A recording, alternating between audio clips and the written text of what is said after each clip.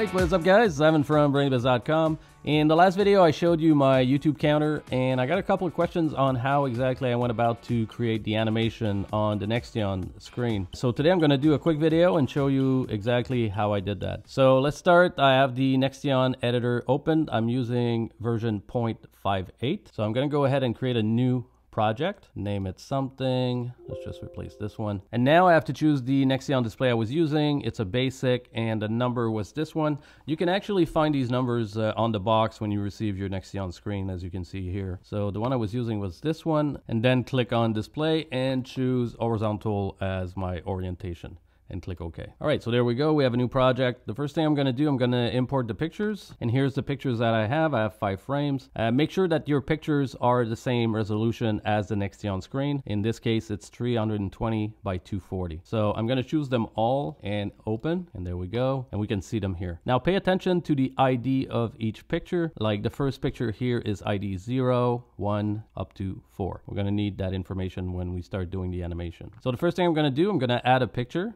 There we go. And I'm going to go to the right side, click on pick browse, and I'm going to choose ID 0, which will be our first frame. So okay on that. Now to do the animation, we need two more things. We need a timer and a variable. So on the left side, you can see timer and variable here. We're going to add one of each. So just by clicking once, timer, and there it is here, and a variable right there. So the way this works is a timer in milliseconds will count down and then update the value of the variable which contains the ID of the picture. So the first thing I want to do, I want to make sure that the variable is equal to the first frame, as you can see here, ID 0. So that's fine. That's what we need. Next, in the timer, we're going to enter some code here. So let me just paste the code real quick and we can take a look at it. So the first line, timer0.en stands for enable equals 1, meaning we're enabling the timer itself. Then the timer.tim is equal to 150. That means 150 millisecond and it will reset after that. Then p0.pic, which is the ID of the picture,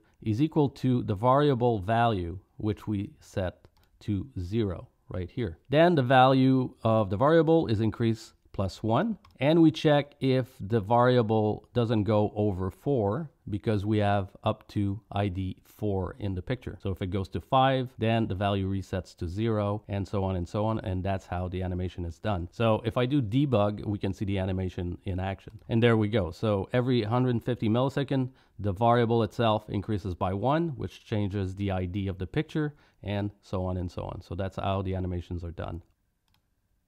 Let me close that. So if you wanted to add another page, you go to the page here and we click on the add. And then on this second page, we could do another animation here. So let me do one real quick so we can see how to change between pages.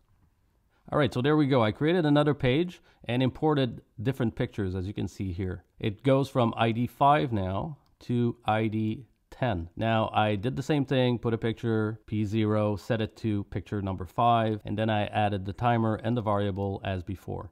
Except now the variable value is set to 5 because my first picture ID is 5 as you can see here. And the timer code, a little bit different but pretty much the same. The, all these lines at the beginning, the enable, the timer value, the picture value, and the plus one of the variable, this is all the same. Except now in the if statement, if the variable goes over 10, before it was over 4, 10 because my last picture is 10, then I set the value to 5. I mean like this. Now if I go back to page 0 and I check the timer, before it was 4 and 0. Now in page 1, it's 10 and 5 because my ID goes from 5 to 10. Now we can test that again by clicking debug. So there we go, it shows the first page. If I want to go to the second page, which is page 1, all I have to do is input here, page space 1, and there we go. Now we see the code for page 1. And if I want to go back, I can just type page 0, enter, and there we go, we see the animation.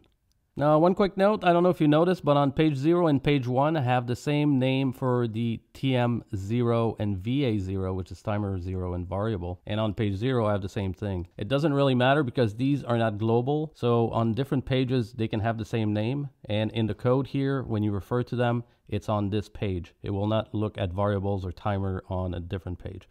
Now, if you want to do the change page inside of Arduino code, it's very easy. If you're using the Nextion library, the command to use is page1.show like so here. And if you want to show page zero, you enter this command. And that's how I did it in the YouTube counter.